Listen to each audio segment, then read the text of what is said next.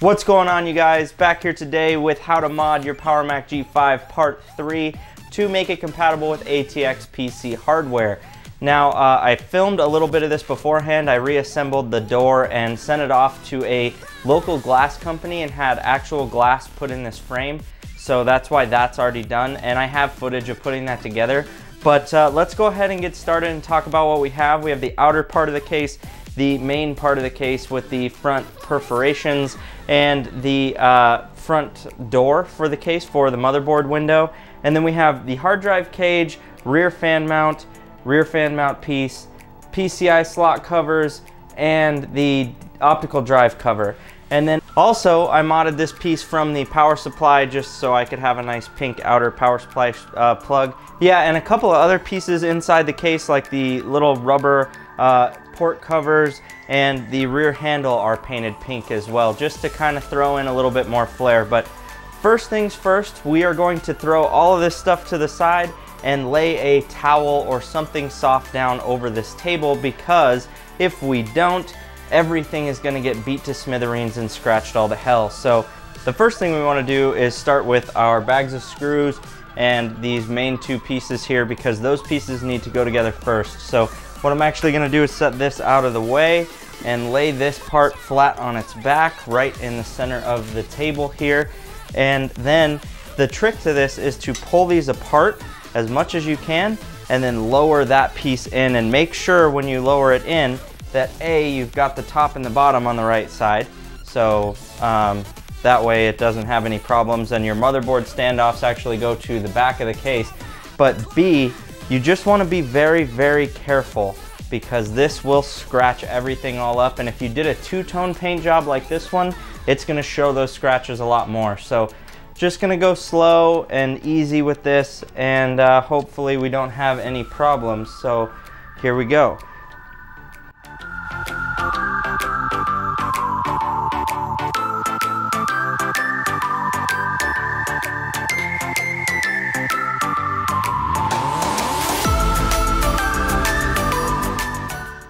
Right, and then once you have the bottom lined up, um, you just want to pull these top and bottom levers, or uh, side edges, I guess, over as we did when we installed it.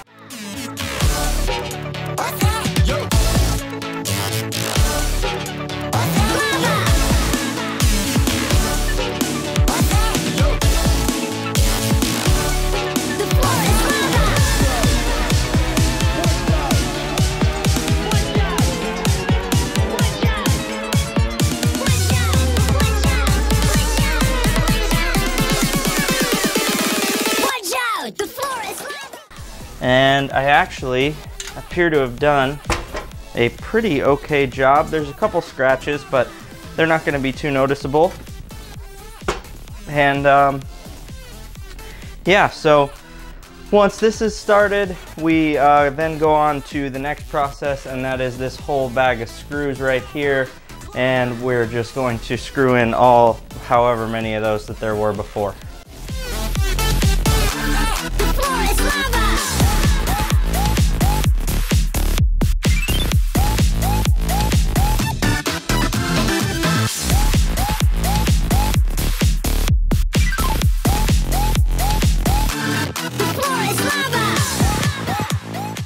Once the whole chassis is together with all the screws on the inside, the outside, the top, the bottom, all the way around, uh, you then want to just throw your door on and say, oh, it looks so pretty, but I don't think that's the way to go with this because the next things you should be doing is putting in all these little pieces like the drive bay cover and the latch mechanism for the door and the fan grill because that looks cool too. So um, I've got a couple of little small pieces here and we're gonna go ahead and install all those right now. The next thing we're gonna do is put on this latch mechanism. Uh, we need the pin, the little nylon washer, and the circlip that go on there. So let me move these to where you can see them. So you need those three pieces, the pin, the nylon washer, and the uh, C-clip. And then once we uh, have those things set aside, I'm just gonna toss them in the case. You grab the actual plastic latch mechanism here and it's got this little um, indent on it for where it slides on. There's a couple little bolts right here. You just put that on there and then slide it up and over and then using the Allen wrench and those uh, like thicker uh, nuts that go on there, you just want to thread those on. Um, and there is there is five of those, so um, just grab five of them and go ahead and screw them on. And then once you get them all finger tight, go ahead and grab your Allen wrench and tighten those up. So here, once we have everything on there, we're just gonna tighten these up but don't go too tight because we still need this piece to slide. So um, I don't think you can with these because it used to have a piece of metal underneath it to divide the chassis space, but um, yeah, you just don't want to, you want to make sure that the latch mechanism can still slide back and forth. And once that's tight and still slides, we can then go ahead and put the little pin in here. So you grab the pin grab that pin right there and throw it up through the bottom of this little hook mechanism and line it up with the uh, latch mechanism. And I believe it has to be at one side or the other I'm not sure. Um, or you can just do that and force it through um, so once it's through there you're gonna want to grab your little C-clip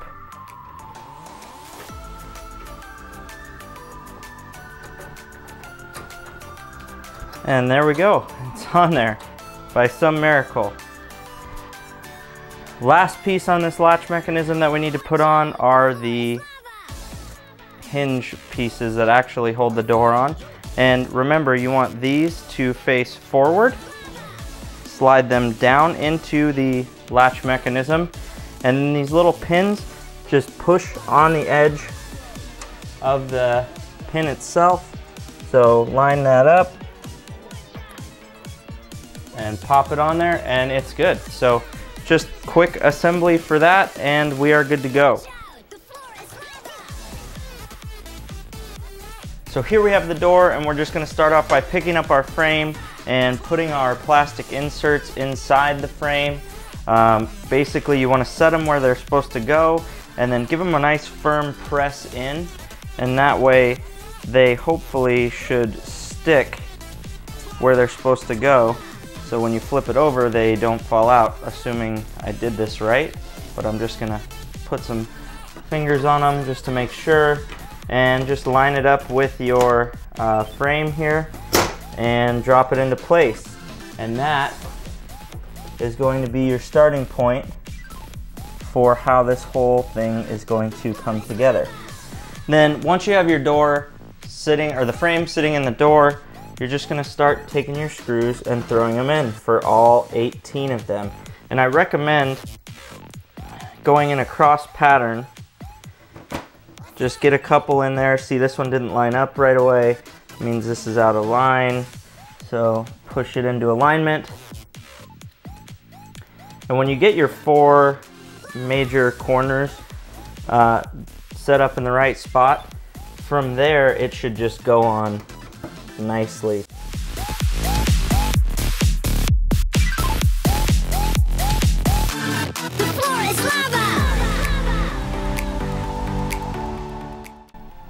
So now that you've got your frame in your door, immediately you're just gonna wanna stick your acrylic in there and call it good, but we really need to clean up the edges of this. So the first thing we're gonna do is start by grabbing our edge molding here and in this bottom corner, that's where we're gonna start. So this edge molding actually has uh, one side that's a little longer than the other side. So that's gonna be our outside. So we wanna start with that on the bottom center of the door and the longer side going to the outside.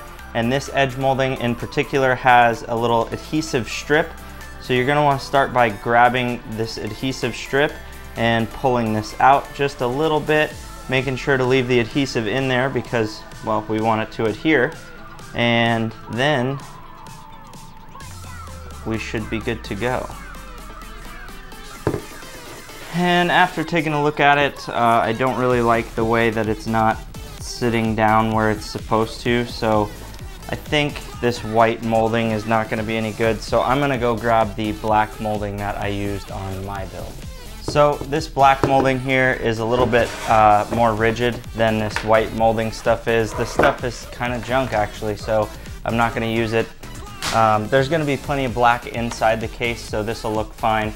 But basically you just wanna start off, this is used, so this edge isn't very clean, so I'm gonna start off by cutting it with a nice new straight edge. There we go. And this is uniform on both sides, so it doesn't have that one side that's longer than the other. Um, so we're just gonna start by pulling it apart a little bit and getting it wrapped around this, uh, this cutout here in this door. And this one we will definitely need the heat gun for. So this one you just really wanna focus on going slow, making sure it gets wrapped around both sides, and it will start to come together pretty quickly. And I will leave uh, links to this edge molding down in the description below. So right here in this corner, you'll notice that this stuff is really, really hard and we're gonna wanna plug in our heat gun and get that all situated uh, to heat that up so we can get it around the corners nicely. All right, and our heat gun has two settings. There's a low, it's this one's low and a high. And basically we're just gonna go on high and go short and lift this up and you'll see this when it gets flexible enough, it'll start to just drop down, but you wanna make sure you heat both sides. So go from the top and then come to the bottom and hit the bottom. So I'm actually gonna start on the bottom here. All right, so that's probably plenty and it's pretty flexible right now and you'll see it just wants to conform right around that edge and basically you want to stick it in there, get to a firm spot, make sure it's grabbed on the frame, and then look at the front and make sure that the front of this looks how you want it to look. So it's nice and smooth and flat and it rests up against the side back here. So now we're just gonna keep on moving on. So you wanna let this dry for a little bit or cool off, I guess, for a little bit. And then, uh, yeah, should be good to keep moving along.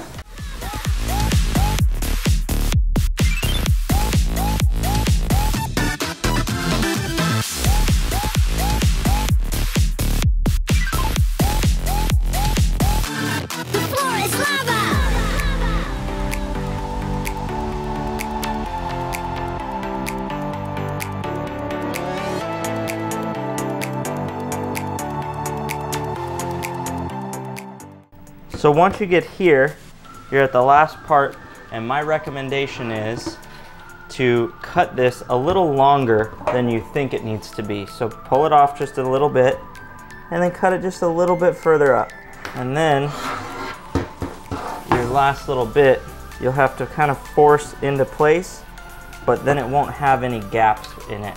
So then when you look at it from the front, it's nice and seamless well, it has a seam, but it doesn't look, there's no big gap.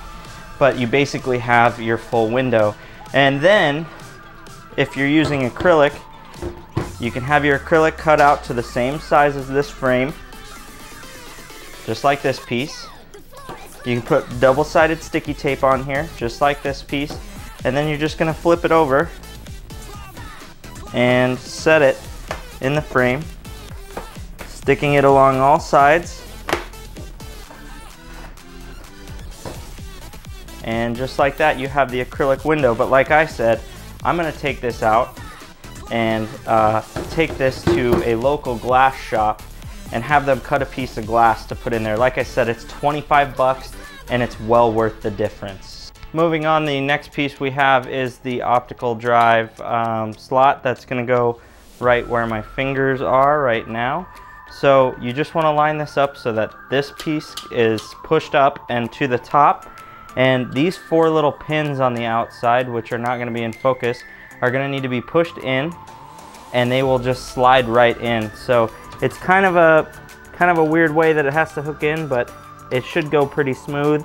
Um, and it will require at least a little bit of force. So I'm just going to drop that in there.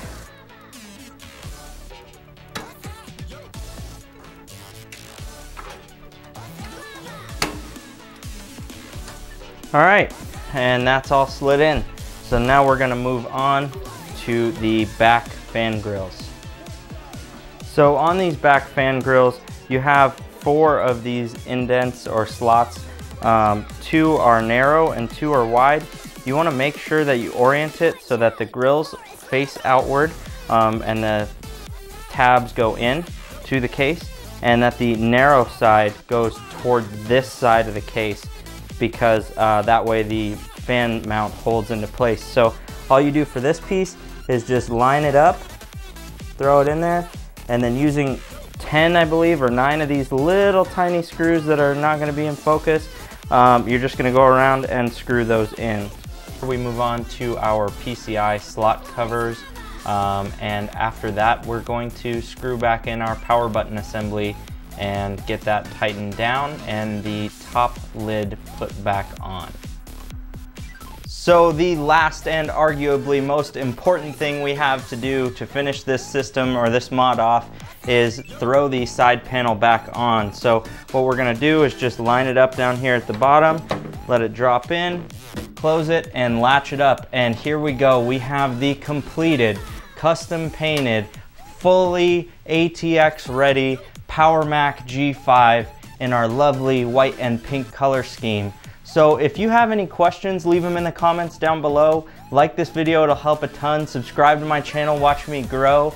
Uh, my last video is gonna be over here, and another video from my channel is gonna be over here. So there's gonna be one more part of this build log, and that is me putting a fully water-cooled system in this. And uh, yeah, I hope you guys are excited for that. Uh, that's gonna wrap this up. I hope you all have a wonderful day.